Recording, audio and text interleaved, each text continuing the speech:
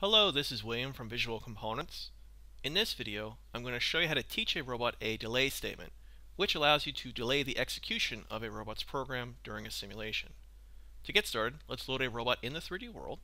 So I'll go to the eCatalog panel, and under Models by Type, I'll expand Robots, scroll down, click Visual Components, and then I'll add a generic articulated robot to the 3D world origin, which you can see right here. Let's now go to the Program tab, and use the jog command to select the robot, like so. Let's now teach that delay statement. So in the Program Editor panel, I'm working in the main routine of the robot. In the Statements toolbar, I'll click Delay Statement, and notice the tooltip, it executes a time delay in seconds, so that's the units we're working with. And in the Statement Properties panel, I'll set the delay to be 2 seconds, but you can, you know, use milliseconds if you want to, so I could just type in, you know, 0.5 if I wanted to, but in this case I'll use 2 seconds. And after the delay happens, let's move the robot down here, so I'll teach this location as a point-to-point -point motion statement. So in the Program Editor panel, I'll click point-to-point -point motion statement. So we'll first have the delay, and the robot goes to P1. Let's now reset the simulation so the robot starts with this initial joint configuration. And if I run it, see the robot does not do anything for two seconds, and then it goes down to P1. Let's go ahead and reset. And in some cases, you want to use a delay statement when you're you know, sending or receiving signals in the robot. And I'll give you a very quick example that you can then use to you know, learn more about how you can use delays. So first go to the Home tab. And now I'll build a simple layout that kind of feeds a part to a conveyor, and we have a motor attached to the conveyor that the robot can turn on and off to control when the path of the conveyor is moving. So in the eCatalog panel, I will collapse robots. And under Models by Type, I'll select Feeders. I'll then add a basic feeder to the 3D world. I'll now add and connect a conveyor to this interface shown on the feeder. So under Models by Type, I'll expand Conveyors, click Visual Components, and I'll add a simple conveyor, which is this item here. So I'll drag it into the 3D world, and then use the PnP command to plug the conveyor into the feeder. I'll now add a conveyor motor, which I can attach to this conveyor to control when parts move or stop.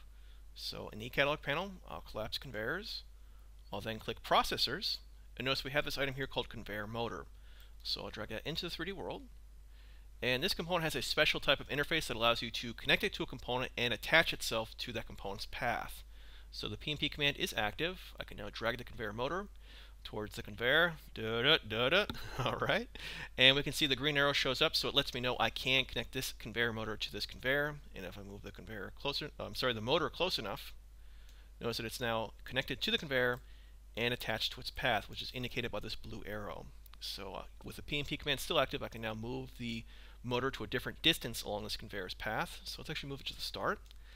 And you can see you get an indication here that this red dot, that means the motor is turned off. So if I was to run the simulation, you can see the part is created, it's fed to the conveyor, but it doesn't move along the conveyor because right now the path is turned off. So to turn the path on, let's reset the simulation and now program the robot. So we'll wire a signal in the motor to the robot, and the robot can then send out a signal to turn the path on and off.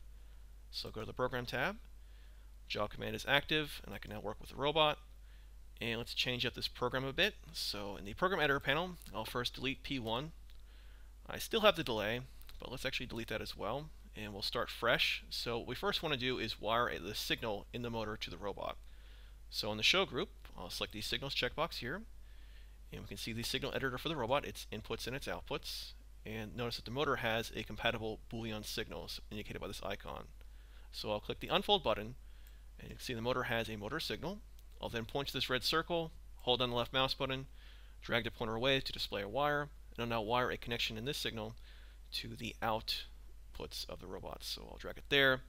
The green check mark make, makes me know that I can connect this signal to the output of the robot.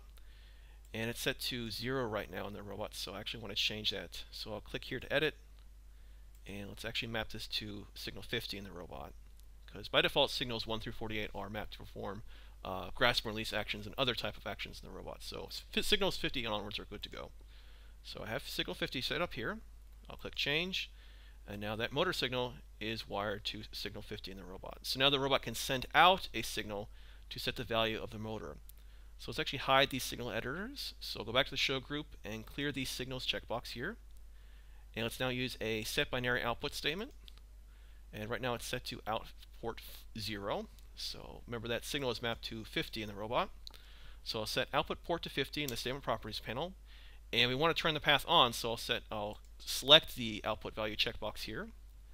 And if I reset and run the simulation, notice that now the parts move along the conveyor's motor and we see that green button there indicates that the path is uh, turned on. So now let's go ahead and create a delay to turn the path off after we've already turned it on. So I'll reset. I'll add a delay statement to the main routine. Let's do a delay of 5 seconds. And then we'll go ahead and turn the path off. So I'll add another set binary output statement. And for output port, we're working with that port of 50. And for the output value, we're going to leave this checkbox uh, cleared. So the value will be false. And if I run the simulation, see at the start the path is turned on.